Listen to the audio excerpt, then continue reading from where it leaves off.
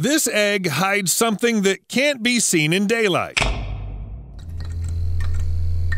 For its sake, a whole race of snakes gave up venomous fangs and killing animals. Lose the most formidable weapon on Earth so easily? Well, there's more than just a desire for a snack behind it. Let's go! Nothing in nature just happens. Not even this. It's thought to be a way for pelicans to clear their throats, cool themselves, or just yawn. People still haven't figured out why they turn themselves inside out. It's a little easier with snakes, though. Okay, you could say they do something similar. Dasypeltis are a unique genus that can't be confused with any other, because the diet of these snakes consists only of eggs. And this is one brilliant example of adaptation. Eggs don't fight back, they don't run away. You don't have to wait for them somewhere in the bushes and strike really fast. Snake in our chicken coop fat neck now. Many predators love to eat eggs, but only Dasypeltis have made them a staple of their diet and even rebuilt their bodies. Imagine this. People like hamburgers so much that we enlarge the width of our mouths specifically for the sake of it. Does that sound absurd? But Dasypeltis have done exactly that. They almost completely got rid of their teeth so they wouldn't cling to their prey, learned to spread their skull bones, and open their mouth very, no, really, very wide. But it's not enough to swallow an egg. You have to get to its contents. And snakes use their spines to do that.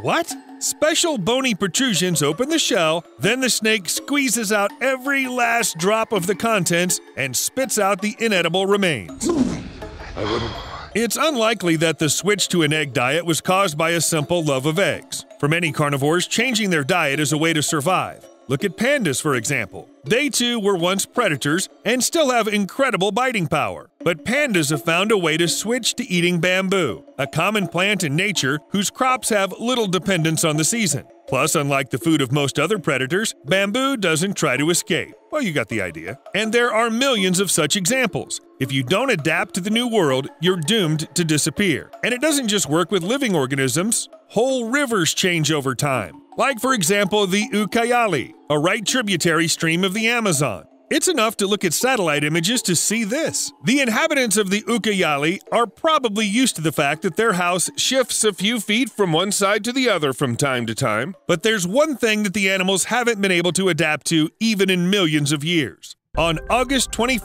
2017, a total solar eclipse was observed across the United States. It was a unique event watched by many people. Wow. Magic. But while they marveled at the disappearing sun, the animal world just went crazy. Many living creatures have well defined behavior patterns associated with cycles of light and darkness, as well as temperature. Therefore, they perceive a sudden lack of light and cooling as a sign of a close night. Dr. Lasana Lahner says the solar eclipse won't last long enough to cause chaos, but it could cause some changes. And now imagine how surprised you'd be if your day abruptly turned into late evening and then became day again. But one has the ability to look on a social media to find out what happened. Instead of Facebook or Twitter, frightened birds are scurrying around in huge flocks, mistaking day for night. Wild animals get lost and come out to people, pets rush to bed, bats, on the other hand, wake up. Some species of spiders unravel their webs, monkeys point their fingers to the sky and shout, giraffes and horses run in circles, even the flowers rush to close. And when the sun returns to the sky, things gradually return to normal. But you don't have to be a star 92.8 million miles away to influence animal behavior. Scientists have discovered that deep in the mouse brain, there's a very small area, including about a few thousand cells, that turns appetite on and off. That is, direct impact to it doesn't cause anxiety or fear, the mouse simply stops being interested in food. It is believed that this discovery could lead to a better understanding and treatment of eating disorders. And while we're on the subject of appetite, let's go back to the snake at the beginning of the video. It's scared, so it's gonna give up the Oh, it didn't even break the egg. We can still eat it. Wasn't it easier for it to expand its menu and be able to choose? A highly specialized animal diet is called stenophagy, and when it comes to one product, it turns into a monophagy. Perhaps once Dasypeltis lacked food. Other species simply squeezed them out of a niche, and they had to go to extremes. The main advantage of stenophagy is the ability to squeeze everything out of the food you eat. But if that food suddenly disappears, you disappear after it. Not very convenient. The opposite nature of eating is omnivorous, but even here there are some exceptions. Thus, dogs, primates, and some birds are considered omnivores, but they don't eat wood, for example. By the way, why? It's believed that the number of calories in 2.2 pounds of wood is 10 times greater than the same amount of fruit or leaves. Except that apparently only termites and beavers have solved this mystery. They're able to digest the lignin, the substance that makes wood so hard. At the same time, beavers and termites have grown the right jaws to split wood on a macroscopic level. But even if you cut a piece of wood into tiny pieces, the human body still can't handle them. At best, the wood will come out in exact same form it went into the human. And since everything in nature makes some kind of sense, the hardness of wood is no coincidence either. It's an evolutionary mechanism that keeps everyone from eating trees. It originally targeted certain bacteria, but they adapted to the change. We're about 300 million years behind. At the same time, there's no way some plants can stop evolving. Rough horsetail, which grows in Eurasia and North America, is so tough that its stems can scratch a glass or metal surface. And now you can see that the penny is a lot cleaner. If cattle swallow horsetail, it can cause internal bleeding. So if you ever suddenly decide to go on a woody diet, you definitely shouldn't start with horsetail. Alternative food sources are basically pretty dangerous stuff. Check out this video, watch it, and do not, under any circumstances, repeat anything like that. He eats ordinary sharp razor blades for the first course.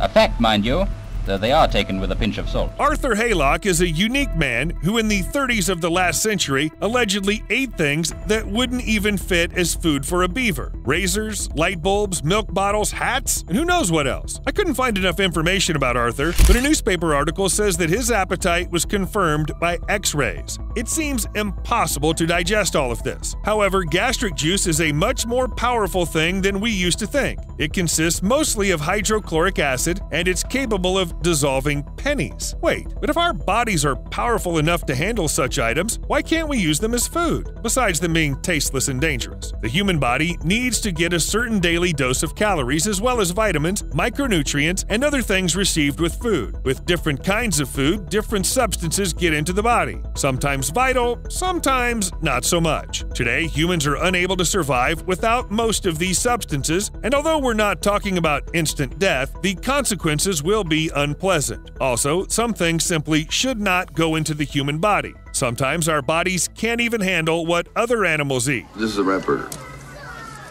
Not bad. For example, vultures and other scavengers. A person who eats spoiled meat risks getting a whole bunch of diseases from ulcers to botulism, gangrene, and tetanus, along with the bacteria. However, vultures don't suffer from such consequences. Presumably, the chemical environment of their stomach is destructive to dangerous bacteria, but so far these birds remain poorly studied. In any case, if you suddenly feel like eating something inedible, you better not.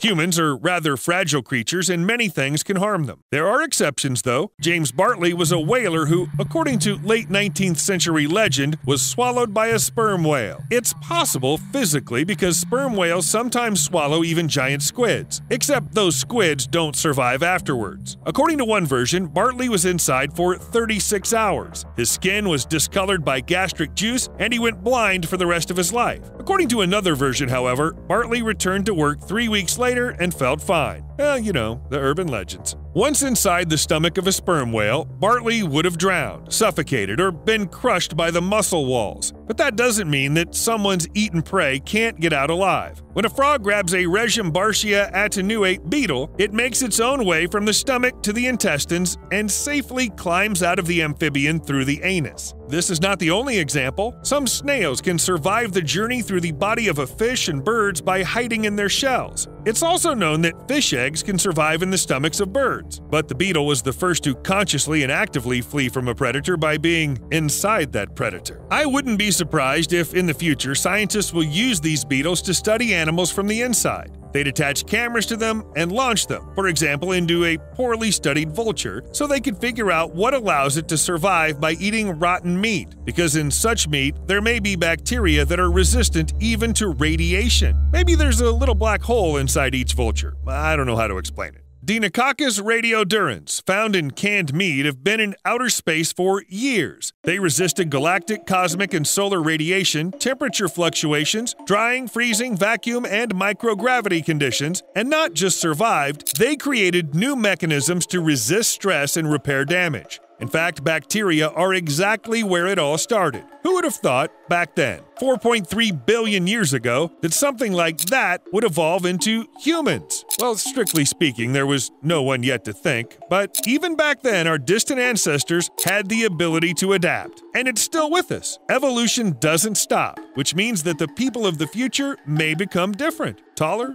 smarter, or venomous. I'm serious. Our genes already contain everything we need today to start spitting venom. All that's left is to evolve. See you later.